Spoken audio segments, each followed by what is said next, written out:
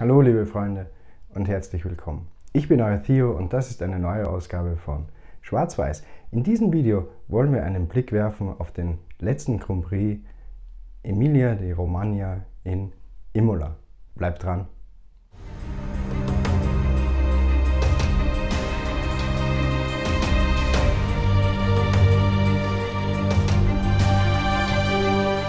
Der Formel 1 Grand Prix in Imola. Ein Start-Ziel-Sieg für Max Verstappen von Red Bull. Mercedes konnte nicht komplett die Erwartungen erfüllen, jedoch George Russell hat sich sicher über seinen vierten Platz immens gefreut. Die Überraschung des Rennens Lando Norris aus dem McLaren-Team. Für mich persönlich der freudigste Moment dieses Formel 1 Grand Prix dass Max Verstappen vor Sergio Perez einen Doppelsieg für Red Bull einfahren konnte, war sicher eine kleine Überraschung, aber nichtsdestotrotz eine gewohnte Leistung von Red Bull. Es ist wunderbar anzusehen, dass Red Bull die anfänglichen technischen Probleme und Standhaftigkeitsprobleme wohl sehr gut bei beiden Fahrzeugen in den Griff bekommen hat. Die Enttäuschung des Rennens war sicher Lewis Hamilton von Mercedes. Dass er nicht einmal in die Top 10 fahren konnte und auf Platz 13 landete, hat einen sehr fahlen Beigeschmack. Er kommt einfach nicht mit dem Auto klar. Zumindest wirkt es so. Dass es nicht die Performance äh, am Auto zu liegen scheint, dass Mercedes einige Fortschritte gemacht hat, beziehungsweise die Strecke eher Mercedes entgegenkommt, beweist das Ergebnis von George Russell. Dabei sei gesagt, es ist wie voriges Jahr mal wieder ein Regenrennen gewesen, beziehungsweise ein Rennen mit wechselnden Bedingungen. Über die komplette Laufzeit des Rennens war die Spannung nicht unbedingt da. Die neuen Änderungen der Formel 1 an der Aerodynamik konnten zumindest auf dieser einen Rennstrecke nicht wirklich greifen. Zumindest war die Leistung von Red Bull mit Max Verstappen nicht von schlechten Eltern. Es war ein klassisches Start-Zielrennen für Max Verstappen. Da kommt sicher die Performance des Wagens auf dieser Rennstrecke eine Spur weit mehr zu tragen, als wir jetzt vielleicht tendenziell starke Verbesserungen oder ein Leistungsangleich von Red Bull an den Ferraris. Es kann gut sein, dass sich das im nächsten Rennen wieder komplett ändert. Leider Gottes war der Abflug von Charles Leclerc nicht gerade günstig für die Tifosis und der Ausfall ähm, von Carlos Sainz.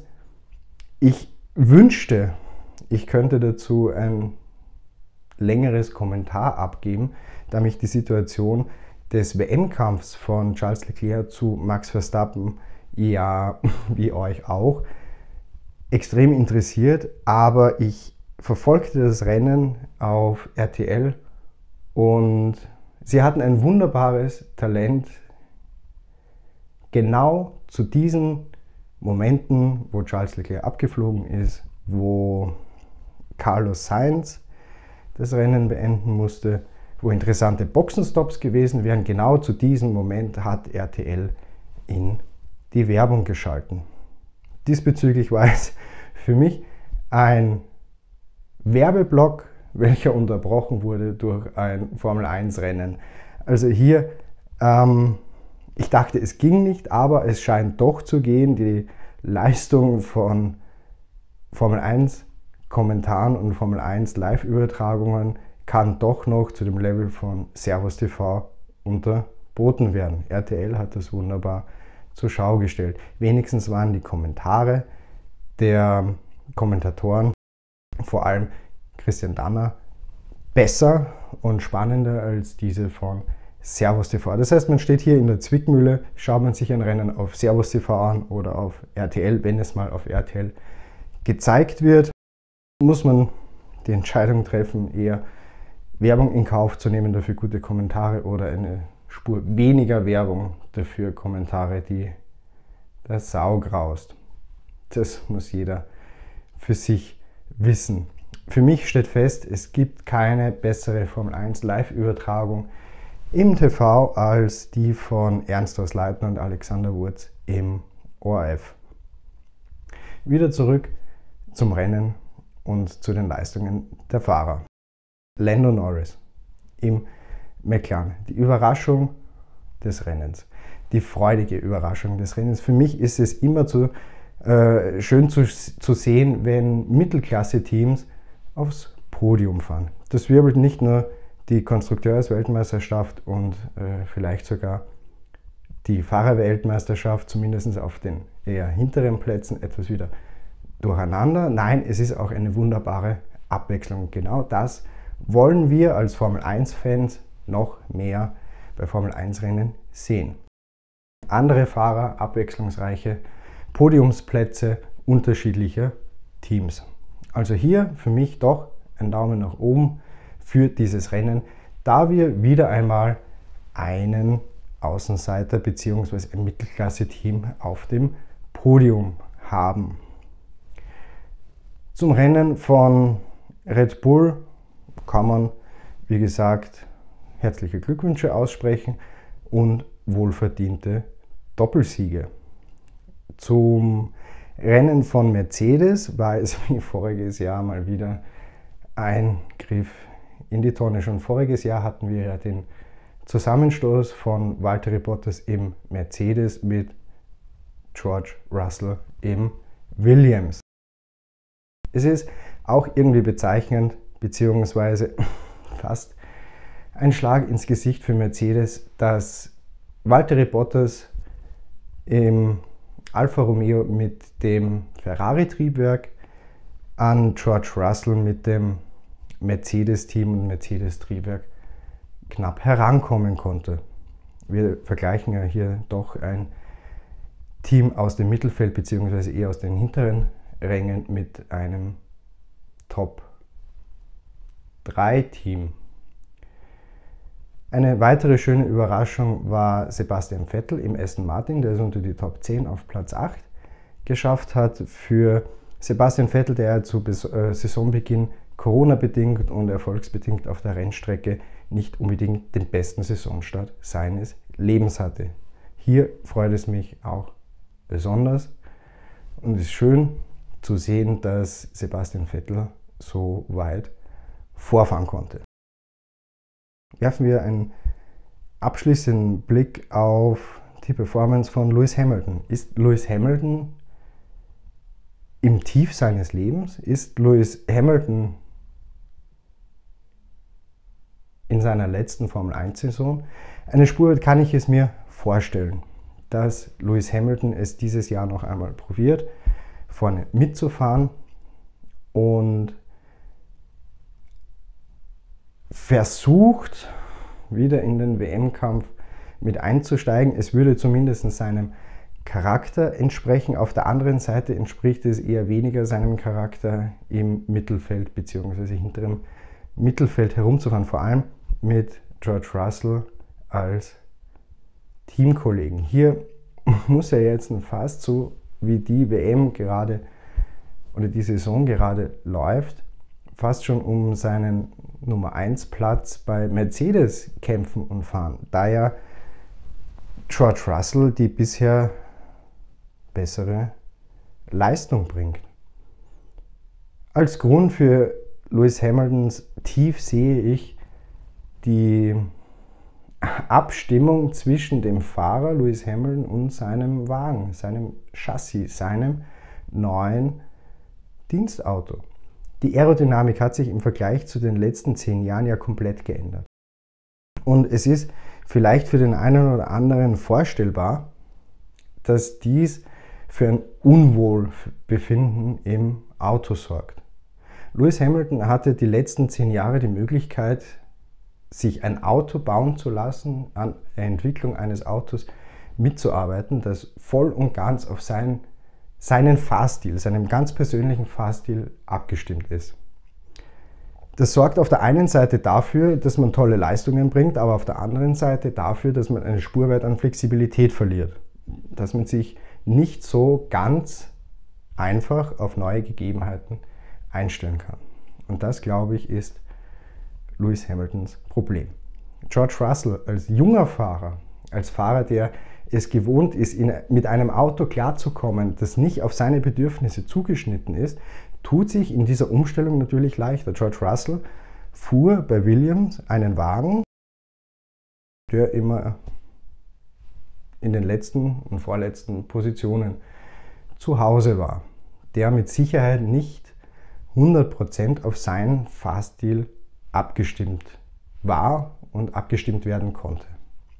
Hier hat George Russell meiner Meinung nach einen gewissen Vorteil gegenüber Lewis Hamilton. Bei, dem kann man ja an, bei ihm kann man ja an, annehmen, dass in Abstimmung mit dem Fahrzeug gewisse Abläufe und, und Einschätzungen schon in Muskelgedächtnis verankert sind. So tief in seiner Erfahrung und, und seiner Einschätzung in seiner Komfortzone liegen, dass der Umstieg mit dem neuen aerodynamischen Reglement der Formel 1 extrem schwer sein muss. Und darin, glaube ich, ist wirklich die Seuche begraben. Das ist das große Problem von Lewis Hamilton. Aus diesem Grund sind die zeitlichen Unterschiede zwischen George Russell und Lewis Hamilton zugunsten George Russells ausgefallen. Und dass es weniger ein Performance-Problem ist, als wie ein persönliches, persönliche Abstimmung mit dem Fahrstil zum Fahrzeug, das zeigt mir auch, dass seine Leistungen sowohl im Zeittraining als auch im Qualifying und dann auch im Rennen konstant hinten abfallen. Es ist nicht einmal Hopp und das nächste Mal Flop, sondern es ist ein konstantes, ich komme damit nicht klar, ich fühle mich nicht wohl. Und ich fürchte fast, ich habe die Vermutung, dass sich das in den nächsten ein, zwei, drei, vielleicht sogar fünf Rennen, sechs Rennen nicht ändern wird. Und dann sind wir schon bei der Halbzeit der Formel 1 Weltmeisterschaft 2022. Und somit ist meine Einschätzung, dass Lewis Hamilton dieses Jahr womöglich nicht oder mit ziemlicher Sicherheit nicht an dem WM-Kampf teilnehmen wird und dass er sich zwischen Verstappen und Leclerc entscheiden wird. Und dann kommen wir zu der Saison 2023, wo ein großes Fragezeichen dahinter steht, ob Lewis Hamilton dann noch für Mercedes fährt oder nicht. Vom Charakter her, vom, vom, vom Ehrgeiz her wird er sicher wollen, vom Wohlbefinden her und von seiner Komfortzone kann ich mir gut vorstellen, dass er hier eher Zeichen sieht, seine Formel 1-Karriere zu beenden. Er hat es nicht notwendig, er hat sieben Weltmeistertitel, er hat genügend Geld, ähm, er hat sicher seinen Spaß gehabt äh, und hat ihn noch immer in der Formel 1, kann aber auch woanders noch seinen Spaß haben. Ich könnte mir gut vorstellen, dass es in Richtung Kimi Räikkönen gehen wird, der sich vielleicht für die eine oder andere Auszeit in der Formel 1 entscheidet, beziehungsweise einen Wechsel der Rennserie vornimmt. All das sind nur Vermutungen, all das sind nur meine persönlichen Einschätzungen. Vom Aspekt des Zusehers hoffe ich sehr stark daran, dass Lewis Hamilton auch 2023 noch für Mercedes fährt und dass Mercedes zu Red Bull und Ferrari aufschließen kann. Alleine schon, um spannende Rennen zu sehen und zumindest drei Kämpfe, wenn nicht sogar vier Kämpfe um Podiumsplätze. Wie ist eure Einschätzung? Wie ist euer Empfinden zu Lewis Hamiltons Rückstand, zu seiner Karriere, zu seinen WM-Chancen? Wie hat euch der Grand Prix von Imola gefallen? Wo habt ihr ihn gesehen? Auf RTL, Servus TV oder Sky? Schreibt es gerne in die Kommentare, das würde mich interessieren. Und wenn ihr noch dazu das Video und mich den Kanal unterstützen wollt, freue ich mich, wenn ihr ein Like für dieses Video da lässt und ein Abonnement für den Kanal. Für euch wären das zwei kleine Klicks, für mich und den Kanal eine riesige Unterstützung. In diesem Sinne, danke fürs Zusehen und bis zum nächsten Mal.